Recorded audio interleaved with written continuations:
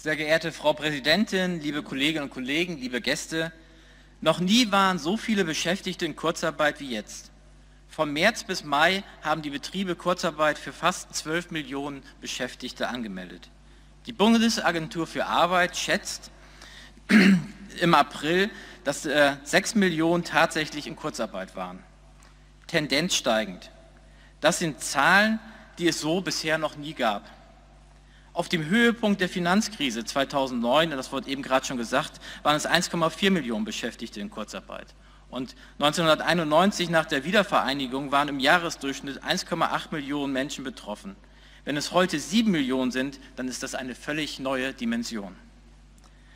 Im Unterschied zu 2009 sind es auch andere Jobs, die in Kurzarbeit angemeldet sind.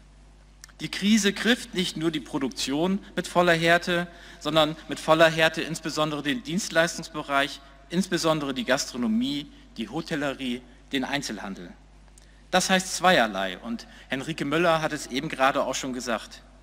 Der Anteil von Frauen in Kurzarbeit ist viel höher als 2009 und der Anteil von niedrigen Löhnen ist auch viel höher. Gerade Beschäftigte mit niedrigen Löhnen haben aber keine Rücklagen, um Einbußen durch die Kurzarbeit auszugleichen. Ein Teil davon wird das Kurzarbeitergeld mit Hartz-IV-Leistung äh, aufstocken müssen. Das ist sozial ungerecht, das ist unwürdig und das ist geschlechterpolitisch nicht akzeptabel.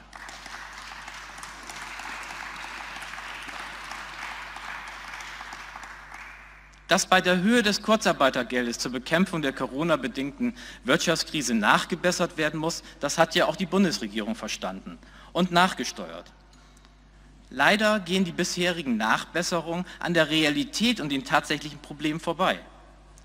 Während die Bundesregierung davon ausgeht, dass erst bei längerem Bezug des Kurzarbeiter, der Kurzarbeitergeldzahlung erhöht werden muss, da sich die Rücklagen der Betroffenen erschöpfen, ist die Realität dass Beschäftigte mit niedrigen und mittleren Einkommen gar keine Rücklagen haben. Deshalb wollen wir mit einer Bundesratsinitiative eine soziale Staffelung der Kurzarbeitergeldregelung erreichen, die die realen Probleme der Beschäftigten aufgreift. Mit dieser sozialen Staffelung wollen wir sowohl die konjunkturelle Nachfrage stabilisieren, aber auch ein unnötiges Ansteigen von SGB II bzw. Hartz-IV-Leistungen verhindern. Von einer sozialen Staffelung beim Kurzarbeitergeld würden überwiegend Frauen profitieren, da sie häufiger aufgrund von schlechteren Entlohnungen davon betroffen sind. Ein zusätzliches, bisher noch nicht aufgegriffenes Problem der Kurzarbeitergeldregelung wollen wir mit der Initiative ebenfalls aufgreifen. Und das wurde eben ja auch schon gesagt. Die Kurzarbeitergeldregelung führt bisher zu riesigen Problemen und Verwerfungen bei Beschäftigten, die sich in Altersteilzeit im Blockmodell befinden. Deshalb muss die Pflicht der Nacharbeit für die betroffenen Kolleginnen und Kollegen entfallen, damit sie ohne Nachteile auch an Kurzarbeit, äh, Kurzarbeit teilnehmen können.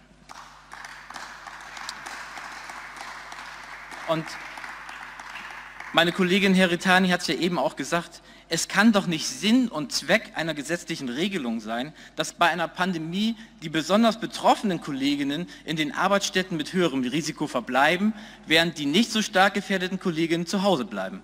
Das kann so nicht sein. Und es sind keine Einzelfälle. Allein bei Daimler in Bremen sind 1300 Beschäftigte in der Alterszeit damit betroffen. Das muss auf Bundesebene geregelt werden und da, auch dazu dient unsere Bundesratsinitiative und wir bitten um Unterstützung. Ich danke für die Aufmerksamkeit. Thank you.